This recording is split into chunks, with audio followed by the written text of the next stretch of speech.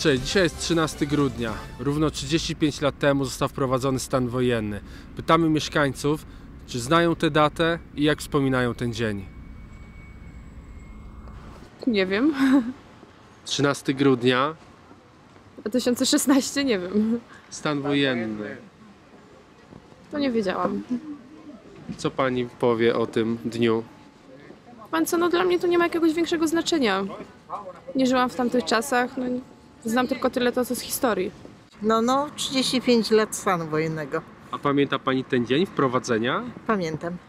Opowie pani nam coś o tym? Gdzie on panią zastał? Jak pani się dowiedziała? Proszę pana, ja jestem z Wałbrzycha. I tak, y, obudziłam się rano, ponieważ pracowałam ciężko zawodowo, więc dla mnie był bardzo dobry w niedzielę teleranek, bo dzieci otw- otwierałam im telewizor, a y, sama dosypiałam, nie? Otwieram telewizor, nie ma nic. Mówię do męża, mąż się gonił, golił. Ja mówię tak, słuchaj, coś się dzieje w kraju. Jest y, tylko y, ciemny ekran. A co tam się dzieje, co ty opowiadasz, że zawsze coś myślisz? No i zaraz wystąpił Jaruzelski. No i wiadomo. Także byłam, jak to powiedzieć, w pierwszym punkcie. Rocznicę stanu wojennego. A pamięta pani ten dzień dokładnie? Bardzo dobrze pamiętam ten dzień. I może pani coś nam powiedzieć o tym, co się wtedy działo? No, dla nas małych dzieci to przede wszystkim tradycyjnie brak było teleranka, ale ja należałam do drużyny harcerskiej Dęby i wtedy mieliśmy alert.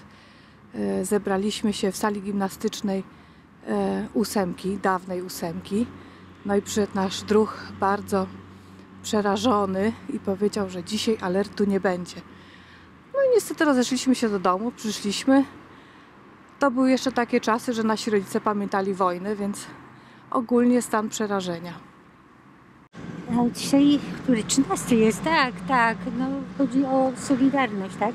O stan wojenny. O stan wojenny. A no, pamięta pani ten dzień? No pamiętam, oczywiście.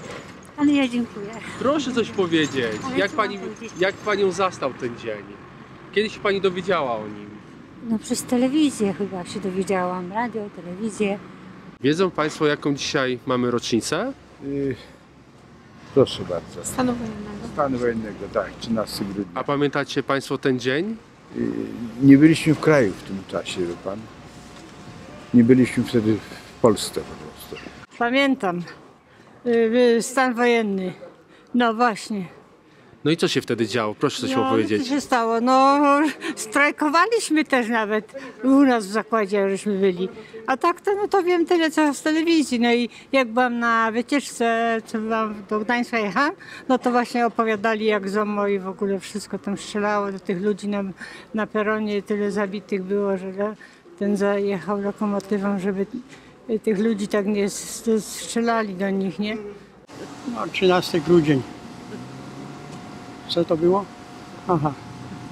Jaruzelski zakazał wszystkiego.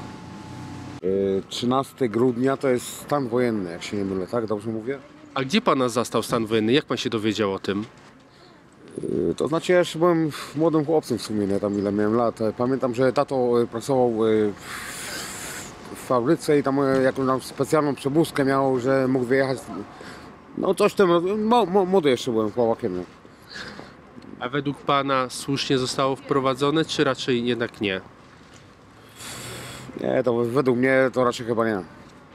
Fajnie, dzięki. Rosja robiła swoje, także E, rocznica stanu wojennego. A co to był stan wojenny? Ja pierdzielę, Wiktor. No według ciebie słusznie został wprowadzony, czy nie? Absolutnie niesłusznie. Stan wojenny mnie zastał na dyżurze w szpitalu. I jak pani wspomina tamten czas? No, że byłam, byłam zaciekawiona, co będzie dalej. Jeździłam potem do pracy, do, do przychodni, do Żalowa. Nie było autobusów, trudno się było dostać. Nie, no, nie podobało mi się to wszystko. Ten stan wojenny był przerażający.